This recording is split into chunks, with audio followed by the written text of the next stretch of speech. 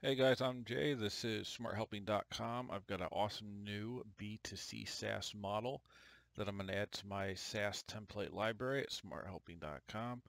So this was built off my original um, B2B, B2C model. I've added a ton to it and I've structured it in this certain way. It's for a an example scenario of an AI powered financial advisory platform but in general, you could use this for any type of B2C business uh, startup model to try to plan out your financial forecast, projections, and this is going to be a long video. It's in depth. There's a lot to go through, and I want to explain. I think sometimes I might go too fast, so I want to explain every uh, single assumption and talk about it a little bit so that you get a feel for how the general flow works and that will actually save you a lot of time as you're using this template uh, because you won't have to uh, really search for what things mean or how something is. I'll, I'll be explaining it all right here, right off the bat.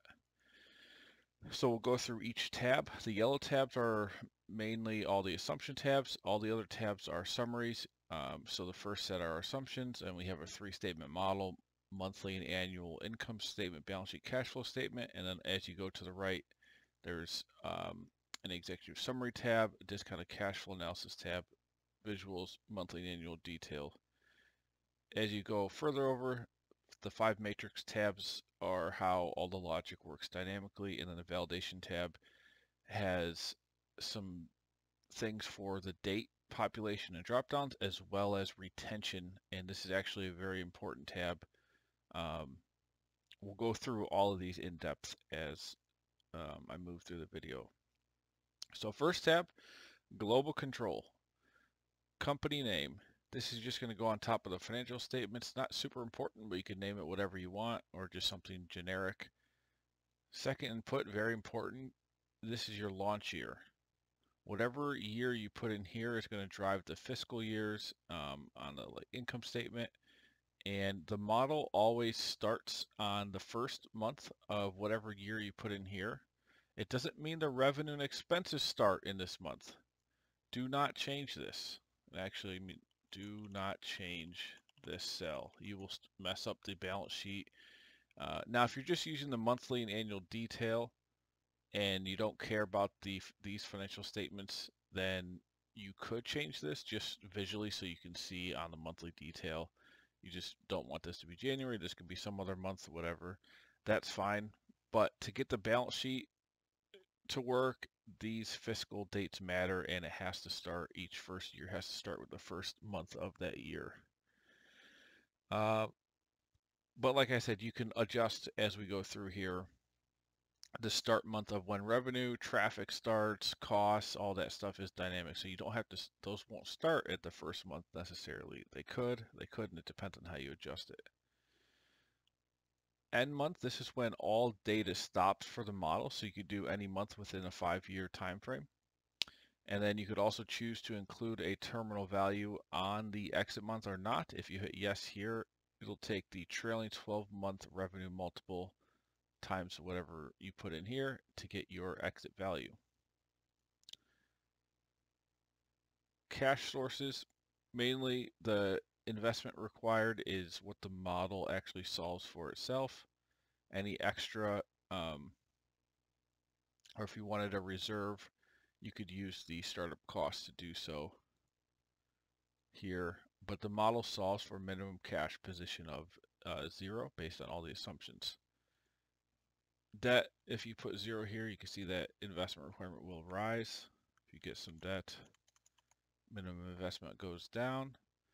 Now, the minimum investment required, we've got the cap table here. This is so this is again what we're solving for in the whole model. And the amount you're raising, you could put in here from different investors. You could enter the percentages they share of the company this fill here is just going to take whatever hasn't been entered of this amount in any of these other raised, you know, if you haven't raised money from anything else, it'll just all go into here. Same with the percentage. And these percentages and these dollar amounts in each of these top columns If you add them to the bottom columns, they should the percentages should add up to 100 and the amounts should add up to no larger than this. If you did put more money in here than what was required, you would just have a little bit of an excess cash balance. So that's investment requirement, uh, and then you've got total investor equity, owner equity, um, equity and debt percentages, and we do account for taxes, operating taxes, as well as long-term capital gains. If you have a lot of fixed equipment, this will be a little bit more relevant. Uh, and then a big one here, you can account for collecting cash upfront or not. So if you were raising, or sorry, if you were onboarding annual customers as well as month-to-month -month customers, you might collect the 12-month value of that contract up front. That's a big you know, you can see the minimum cash requirement is at 729,000. If I hit no on here, you see that goes up to 2 million. So especially for a startup, that can really offset burn and give you a much better cash position if you are collecting cash receipts up front. That will also affect on the balance sheet. You'll have unearned revenue. This is cash collected before your services have been provided. So a liability account and then um, if you hit no here, then you'll recognize, well, you'll the cash will come in evenly over the contract term, however long that might be. For this scenario, we'll put in yes. And now let's really get into it. So the revenue assumptions are quite complex. We have four tiers here. We also have assumptions for traffic and we have assumptions for a couple other revenue streams, transaction fees if the platform is going to facilitate transactions. Maybe the platform earns a percentage of all those facilitated transactions. Also, you might have one-time or affiliate revenue on new signups, so that can be accounted for. So there's a couple new income streams here, a little bit of a different setup. Let's jump into the first one. So here the general style I did for this, uh, so for the AI-powered financial advisory platform is a standard tier or basic, and then a that's month to month, and then an annual version of that paid every 12 months or contracted 12 months, and then a premium tier that's month to month, and a premium uh, tier that's paid uh, once a year. Now you don't have to use that same structure. You could label these however you want. and They will update through the model. You see if I put basic here, it updates on this and it'll update everywhere. Um, but right now we just labeled it standard. And these contract lengths, so this is month to month by just putting a one in here, or if they if customers pay every three months, you can put a three. Um, the main thing that's tied to the contract length is obviously the the value of the contract. So if it's month to month and you put $20 in here, then they're paying $20 a month. Also, the retention rate, this 90% here is applied to each renewal after the contract term. So if it's one month, then every month this is saying that you're losing 10% of the customers that joined. You can adjust all of these assumptions each year and you can improve the assumption amount. So here we're saying we improve our retention by 1%. We end up getting from 90% to 93% retention has an exponentially greater effect to the higher your, it goes. And remember these, so retention rate in year two has nothing to do with the customer that joined in year one. This is actually a dynamic schedule that applies to only the customers that joined in the given year. And the point of that obviously is to say that as your platform improves, you make it better, the idea is that your customers are going to stay longer I'm going to talk a little bit more about this in a second. Um, let's keep moving down through the top of this. So, so you can define the start month that the tier begins. The contract length in this case is monthly, so we'll do a one here. Ad spend. So this is the model allows you to do ad spend specifically for each tier, as well as the free tier. Um, right here, we do traffic uh, where customers added through the free tier as well. And then a cost per acquisition, improvement in your cost per acquisition. So as that goes down, you acquire more customers for the same cost. So you can do this for each specific tier or, and you could zero these out if you don't want to do your ad spend per tier. And on the OPEX tab at the bottom, you can actually define a annual ad spend here, annual cost per acquisition, and then this new, these new customers, you can define the percentage of those that join each of your tiers. So I've seen clients ask both ways, and so you've got the option to do it by customer tier with the ad spend or as an overall general ad spend, and you just define the percentage of those customers that fall into each tier over time. These should add up to 100%, assuming you're spending all of your I mean, yeah, the, these should always add up to 100%. Um, you don't have to use every tier, but whatever you do use, um, they should should just the sum of these should be 100%. Okay, so we did ad spend, contract value explained. And so if this is 12 here, in this case, we're saying customers now the contract value is $199. So these customers that sign up pay 199 up front because we're saying the customers are you're collecting receipts up front. If it no, it'd be spread evenly over the contract, but we are collecting it up front. We still need to know the monthly value because we're recognizing that revenue on the income statement evenly over the contract term. So we need to know what the monthly amount is. There's offsets for that on the cash flow statement. You can see here, you're adding the upfront collections, reducing the MRR monthly recurring revenue uh, receipts. Uh, there's also this assumption percentage increase in contract value at renewal. So this says every time a customer renews, is there an increase to the amount that they're paying? Uh, now this is not like an increase in price necessarily. Um, it might be more for uh, bigger customers where you just eh, maybe they're 12, 12 or 24 month customers where they have a big contract and you're increasing that value. Um, generally though, this could be 0% and you could see it will affect our standard revenue a little bit. It was at 30 million at zero at 1%. What was that at? 31 million. So a little, a little bit of a difference here. For the default, we'll zero these out.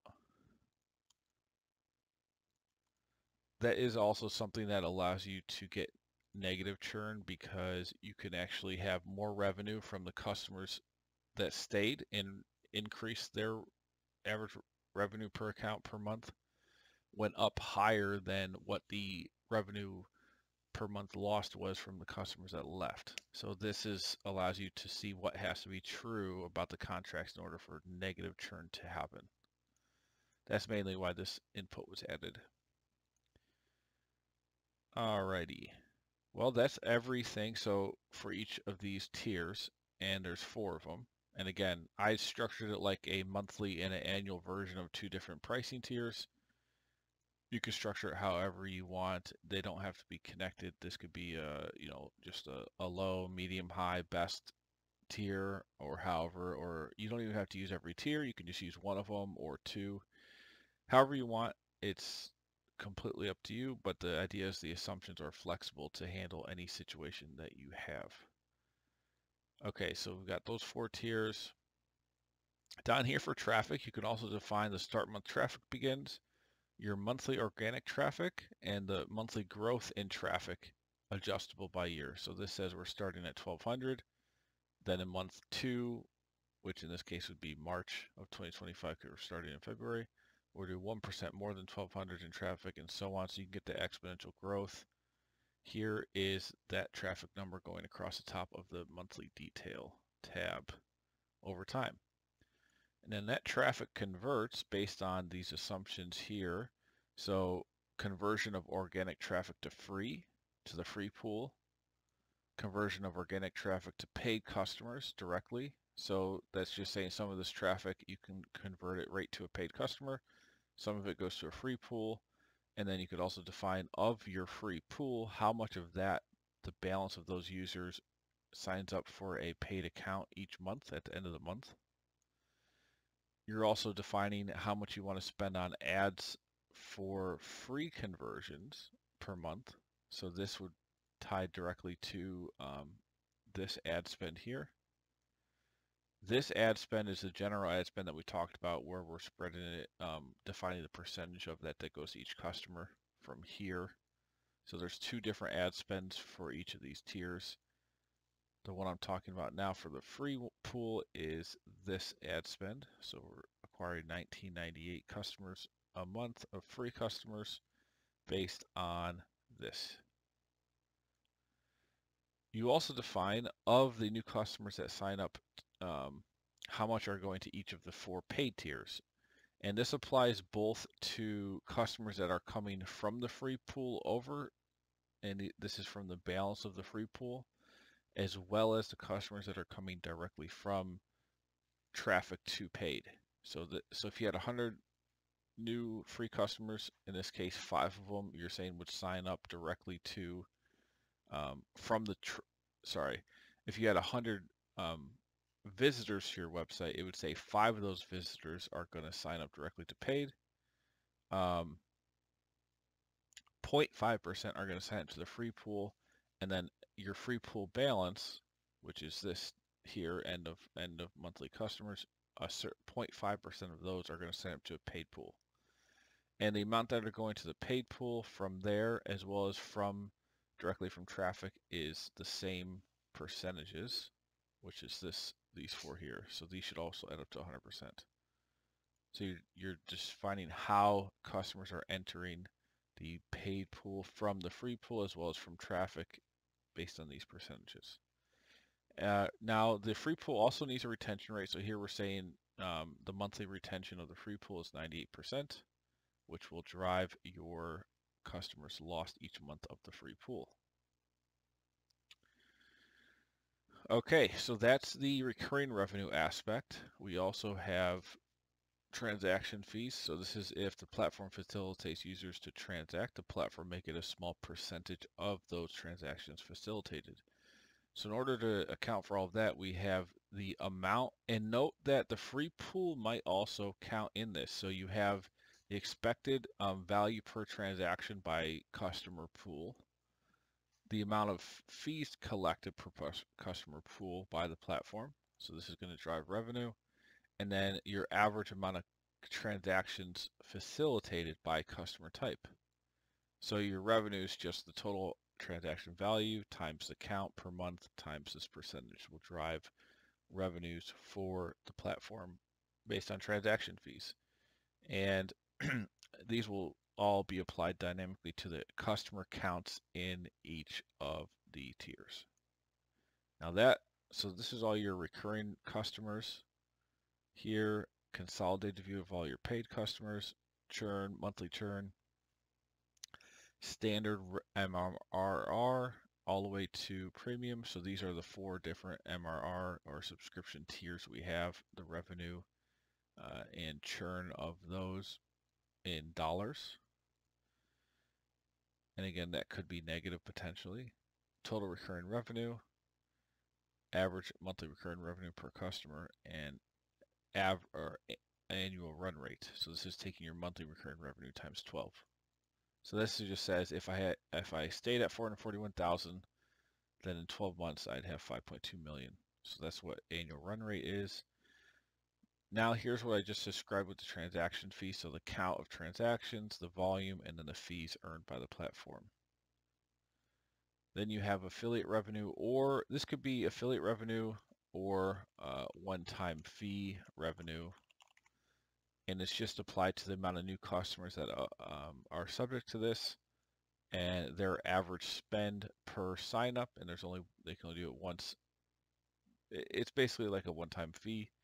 So you define that what that amount is and um, the amount of customer, new customers that actually participate. So here we have customers participating and then the total value of all their one-time fees. Then we have total revenue here. And now we've covered all of the revenue aspects. This configuration would fit a wide range of B2C cases. I would say 95% you could you could do um, a a B2C model for a, uh, so many different businesses. You know, four tiers, varying contract lengths, and everything's configurable. Also with the traffic, the free pool, and then having these other fees in uh, revenue streams. That covers nearly every customization I've ever done on this model as well. So I'm trying to get every uh, on the old version of it that well, it's a, not old. I'd say it's a different version of it that's a little bit more basic. Um, but I'm really I'm excited to get this out because this is this is robust. Okay, so let's go to customer service. So in this tab, there's four four tiers, and you could define the customer service reps required per tier, and it's based on the ongoing count of customers that exist in each tier and you just put in the ratio of how many uh, customer reps are required per existing customer. Here, if you put 0.001, in this case, that means you need one customer service rep per 1,000 customers. And so it'll do the math on that and on the monthly detail here. See, customer reps are right here. And that's based on these counts. So you've got each of your tiers the reps required.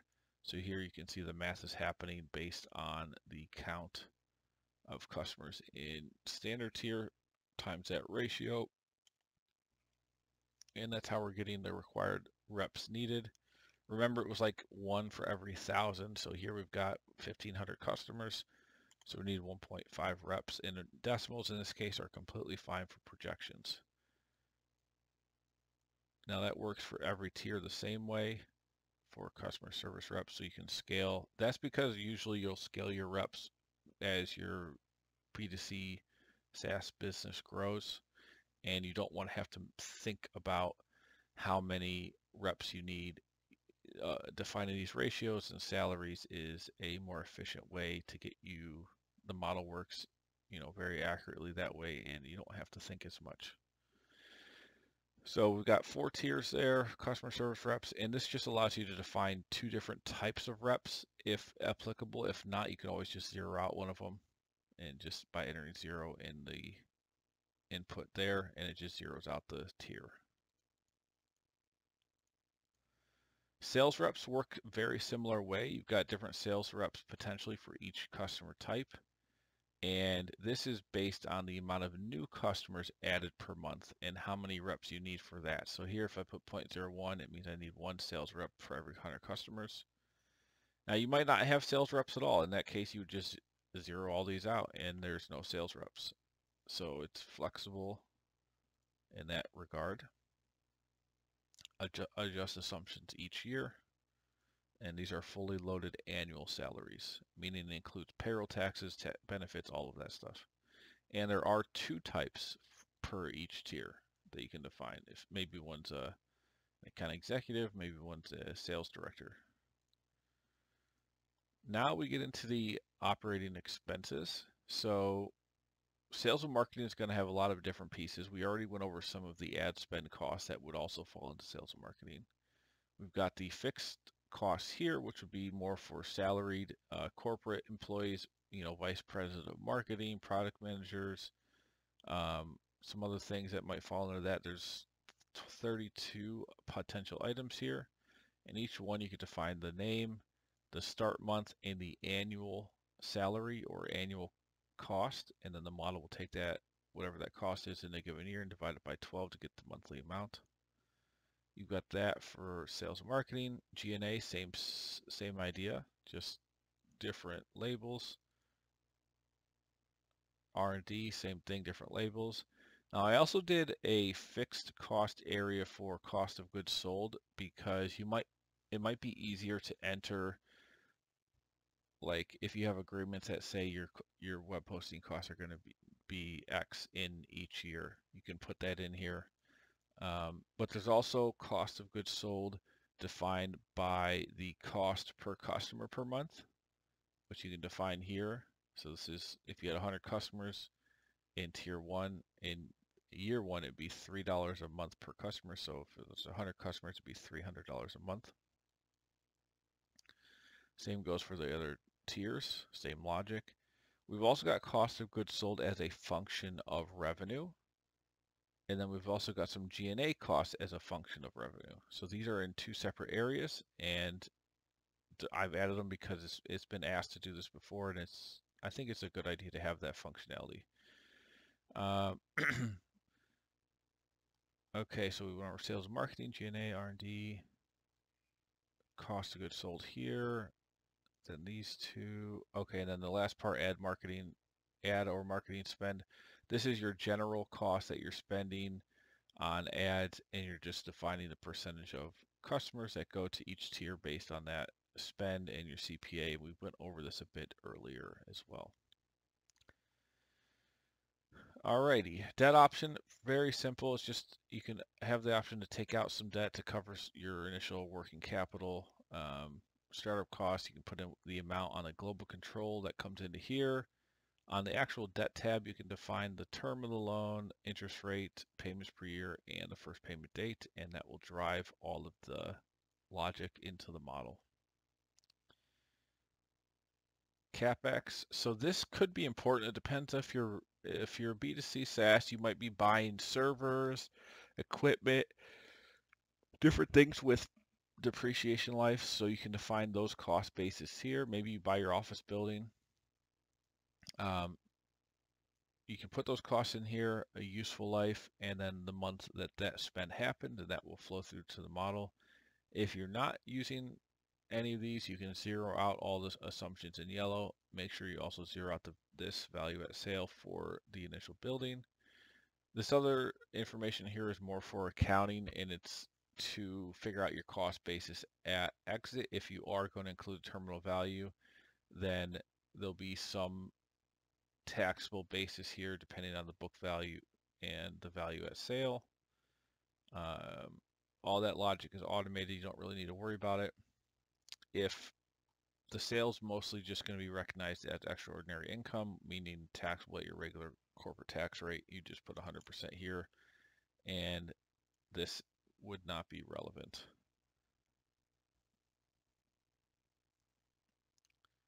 cap table, we went over this. So again, you're just putting in how much you're raising of your minimum cash from different people. Outside investor section, here's your inside investor section.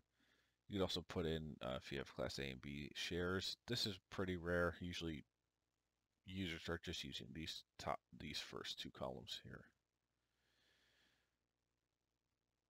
Startup costs. So these are other one-time costs, maybe legal fees, uh,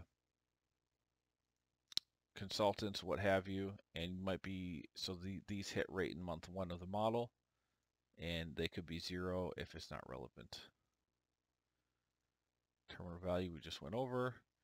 And so those are all the assumptions. I want to go to the income statement. So here we have our three revenue streams, subscription revenues from all the different recurring revenue tiers, transaction, spell transaction wrong, I-O-N, transaction-based revenue, one-time fee revenue, total revenue.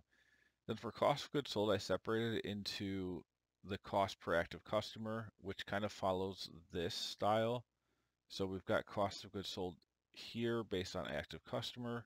We also have the fixed costs here that are cost of goods sold. Um, and then we have some as a function of total revenue. And then we also are assuming customer service reps fit in there. So those four different types are all represented here so you can kind of see a high level. General and administrative costs, sales and marketing, R&D, your one-time startup costs, and then you've got EBITDA, interest, depreciation, and then just net income. You've got your exit value happening here. Income statement annual is same deal, but on an annual basis all the numbers flow through and all this is dynamic if you were to change your assumptions. Balance sheet, you've got your cash, fixed assets, accumulated depreciation, total assets, liabilities, unearned revenue and debt, equity raised, retained earnings, and then all those balance out.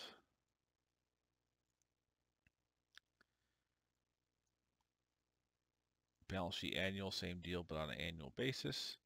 Cash flow, the only really tricky thing here is we do have a reduction of any upfront collections. Now you can see if I entered no on the upfront collection and went back to the cash flow statement, now that those items are irrelevant and you just have your total revenue from uh, customers happening in the top here. Cash flow statement is kind of like your sources and uses. You can kind of see how you're getting money coming in, when, when it's going out. Cash flow statement annual. Let me put this back to yes. Now the executive summary is a little bit more detailed, but it's high level. Um, a little bit more detailed than the income statement. So at the top, we've got year-ending free and paid customers. You've got your revenue from each type. You've got cost of goods sold. We did go over that. Um, the one difference here is you've got your sales and marketing spend separated between ad spend, sales reps, and fixed costs. So this gives you a little bit more visibility into where the sales and marketing spend is coming from, as well as what the percentage of revenue it represents. Then we get down to EBITDA, you have debt service coverage, might be relevant or not, taxes, capex, all these other cash flow items, and then this reconciles to the same cash flow we calculated in the rest of the model. Here's the check for that right here. I also showed the year ending ARR, meaning the monthly recurring revenue on the last month of each year times 12 is what this is. And then the total churn that's happening in each year from customers leaving. We've got some charts, other uh, project level and investor and owner level return metrics. And remember, investor is just on the cap table, this top section. It re represents the, the entire investor section. Owner section would be like founders, maybe employees that would fit in the bottom section of the cap table. And these are the respective returns here. There's also a discounted cash flow analysis for the project level as well as the investor and owner groups. And you could adjust the discount rates here accordingly. The higher the, dis discount rate, the more risky the business is, basically, if you want the easiest way to think about what you should put in for that. Um, how risky are the cash flows, basically, and that'll, the higher the rate is, the lower the net present value. You can see here, if we were to plug our IRR into here, the net present value would be zero as that's what the definition of IRR is. You can check that calculation. So that's what the future cash flows would have to be discounted down to to equal the initial investment. Okay, we've got a visual on this. More visuals, so key yearly stats, revenue, gross profit, EBITDA, yearly cash flow, monthly cash flow, cumulative cash flow by month, uh, month any customers all, month any customers by tier. And these are paid customers, um, not the free tier. You've also got month any customers by tier and just a percentage of the total, like a stacked percentage chart. Monthly recurring revenue by tier. So this is your total revenue, total monthly recurring revenue, not you've also got revenue from other sources. But how you're, much you're getting from each of the four different paid tiers of just the subscription, not the other stuff. And then here you actually see the other stuff, which is also, so you've got recurring revenue, transaction fee revenue, and one-time referral fee. So you can see a breakdown of revenue by source, and then here's breakdown of subscription revenue by customer type. So this is just showing a detailed version of basically only this, this first section here. Then you've got customer acquisition cost, average monthly revenue per account, average monthly gross revenue per account. This average monthly revenue per account is taking into account the revenue from all sources, not just subscriptions.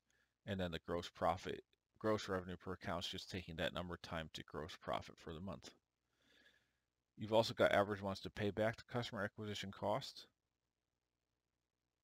average monthly churn, average monthly churn in dollars, average life of a customer in years. Let me put a note on that one.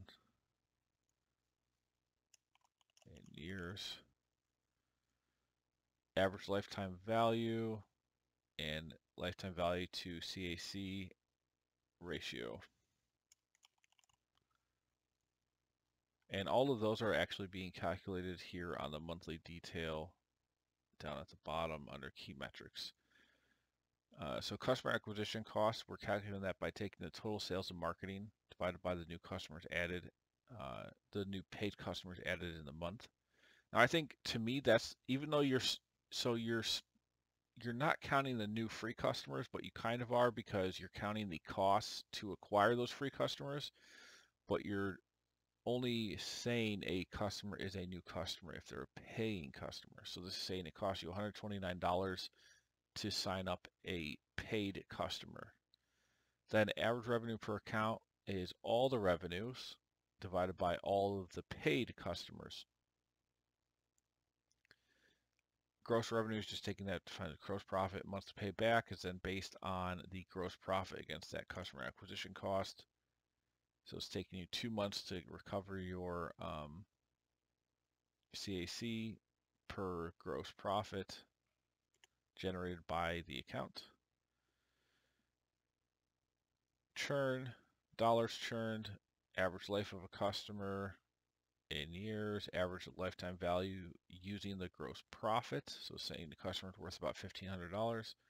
And then our, that's 11 times the customer acquisition cost. So that's where we get this, this number, LTV to CAC. I've also got some weights here. This was used to calculate um, the average life of a customer because we got four different customer types and I weighted them uh, based on essentially revenue per tier and then the average life in years of each customer type against the contract length. Well, the contract length defines this in combination of the retention rate. Uh, active months, so this is just a calculation for the exit, and then this is a reconciliation for collecting cash flow up front. Now, don't go away. There's more, and you want to pay attention to this last part. If we go over to validation tab, this section, you may want to manually define your retention of each customer pool. And you can see the four pools here, paid customers and the free pool at the end. And what I mean by that is this is just assuming a straight average retention. So if I put 90% retention, it's going to do, um, it's going to look at what the month number is. And so here on yearly, the retention is 80% on month 13. So we've got all the customers and then in a year they only 80% re-sign up. Year after that only 60%, 40%, etc. of the initial sign up count. You can manually override this if you think it's exponential decay or if it follows some other pattern and you want that to change over time as well. You can adjust that manually on this tab if you don't want to use the assumptions here, which are just you put in the initial amount and it's just going to extrapolate that based on the contract term length and this number and just evenly distribute it. You know, in this case, you're losing 10% of your customers every month. That signed up in month one. And this is a general average way to do it. There's no one way that's best. It just depends on the business. And if you have data on the business that defines a specific pattern, you know, maybe it's 100%, and then the, the next renewal you're at 70, and then maybe 35, and then it slowly peters out to like 5%, and maybe you stay at like 5% for the rest of the model. That's fine. You could define whatever pattern you want the customers to go through here, and that will automatically update in the entire model. I did label these um, so you've got the each one's the same renewal count. And the reason why we want to know the renewal count is because potentially we are increasing the revenue. So if I were to put say 5% here,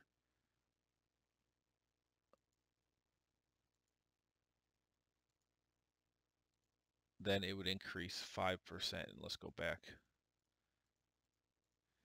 You can see now it's increasing every time there's a renewal the renewal counts happening here. Here's our multiple of the initial contract value that we're getting at each renewal. So in this case, in month to month, um, every month we're getting a little bit more out of quite a bit more. 5% is pretty high. So that's what that number is doing. Now, if the renewals every, you know, the renewal count's still the same in this annual contract section. So the renewal count's the same, but the month that the renewal happens is different. And that is, and you can see if we go to matrix two, and we go down here, the percentage of cohort remaining is the same until month 13. Boom, then we, we lose some. And you can see also the renewal count happening here. This is the average amount of contract value being earned. Churn, amount churn, you see the amount churn is only happening every 12 months for annual customers. Then you've got the actual cash coming in. And this is taking into account the increase in the contract value of all the customers that stay, as well as reducing the customers that have left. And this amount, you know, so this cohort of customers, you potentially could have more revenue from them, the ones that stay, if this was high enough. Let's say it was at um, some crazy high number. Let's say 50% more. Sorry, we're on, we're looking at the uh, annual contract. Let's say this is 50% more here.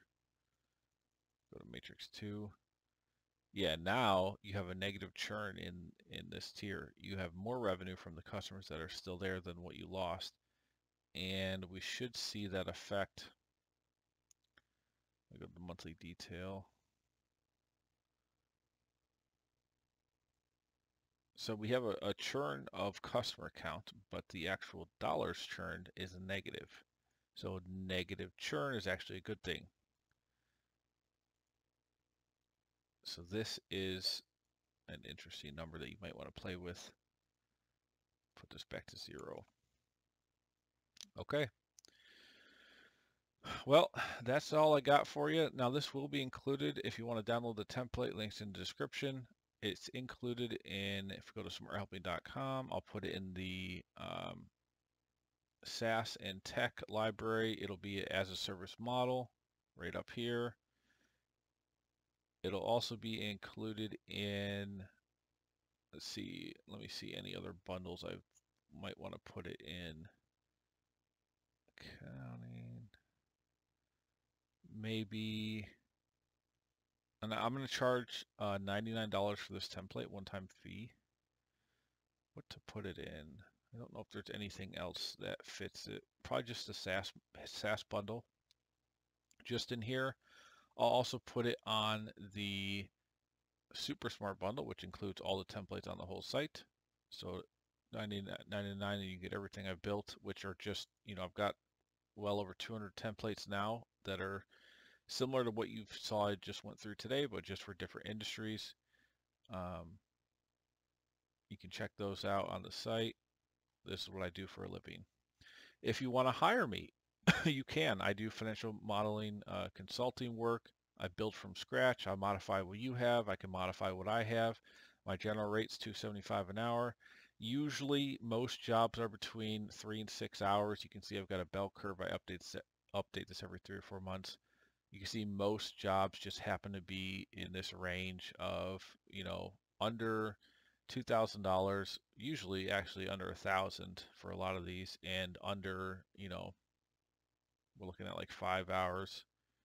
This would be 10 hours. So around that, that two to five hour mark is, is where most people land. Um,